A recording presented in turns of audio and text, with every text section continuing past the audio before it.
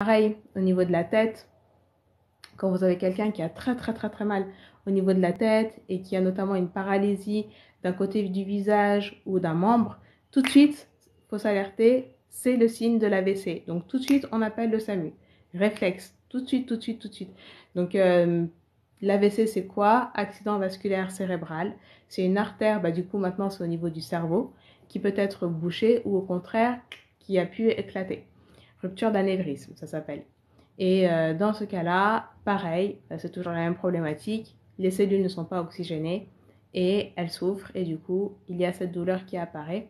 Et c'est pour ça, du coup, que le cerveau, il envoie des, des signaux, mais les signaux ne sont pas transmis. Donc, il, peut y avoir une paralysie d'un côté du visage ou d'un membre, des troubles de la parole, un déséquilibre. Euh, la personne n'arrive plus à, à, rester droite. Enfin, il y a différents signes, signes d'alerte qu'il faut connaître. Et tout de suite, donc ça, faut, faut que ça vous mette la puce à l'oreille. faut appeler le SAMU tout de suite, tout de suite, tout de suite. Les pompiers, le SAMU. Voilà. 18 et 15.